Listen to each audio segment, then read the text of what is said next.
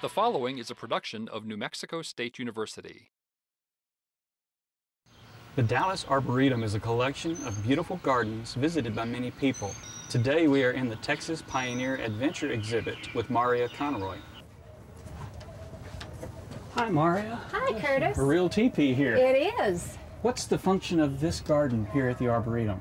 Well, we call this area our Texas Pioneer Adventure Area, and we built it about three years ago to tell the story of the peoples who lived here in Texas in the 19th century and how plants were such a vital part of their lives. The Native Americans used a lot of the plants and animals here. They surely did.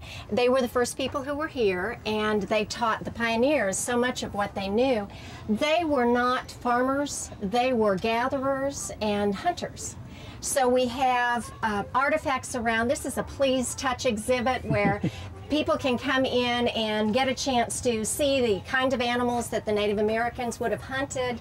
So we have the skins here. You can pet a fox and a coyote and see the kinds of animals they would have hunted. The buffalo, of course, being the primary um, animal that they were looking for and the animal that they followed in their travels. And then as they went along, they learned a lot about plants and the different uses of plants as medicines and as food. And they shared that information with the pioneers when they got here. When the pioneers came in their covered wagons, they were taught first by the Indians. Exactly. I hear a lot of sound. You've got some visitors here now, don't you? Yes, we do. We have, do a lot of school groups here teaching them about the plants of this area. So they can see what this blackland prairie looks like and how they built homes out of the prairie. That's right. It's a hard thing to try to visualize. Here I see it, you know, it looks good and black, so you'd think it's rich, but I can see the calcium in it, and that's what makes it black, is that calcium. But it does make a good house. It does. What is it like to live in? Well, come inside and you'll find out.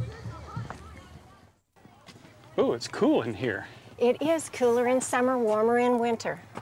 That's nice. What caused them to decide to build the sod house? They had their wagons. They did, but they discovered the kind of storms we have here in North Texas, that a covered wagon is not reliable housing so they, they built what they had. There weren't enough trees in this area, this grassland area, for them to build wooden houses, so they dug up the sod and stacked it like bricks and built sod houses. I think it's really interesting. Look at the walls here. You can see this was the living prairie they built their house out of. That's right. So it probably was green for a while. It was green.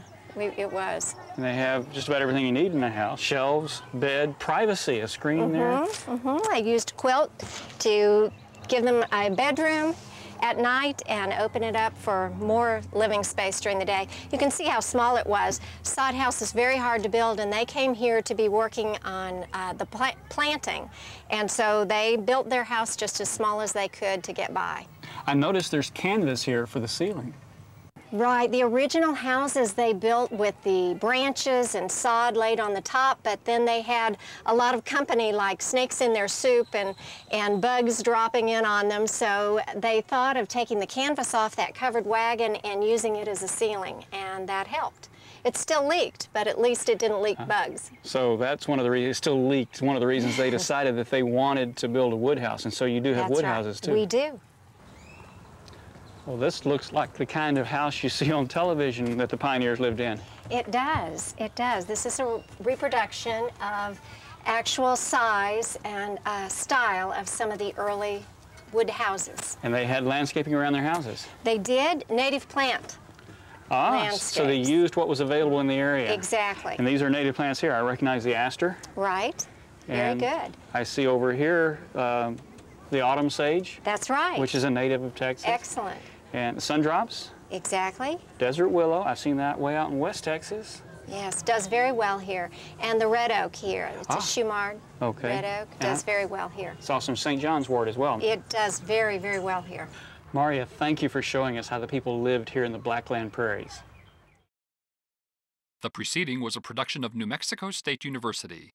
The views and opinions in this program are those of the author and do not necessarily represent the views and opinions of the NMSU Board of Regents.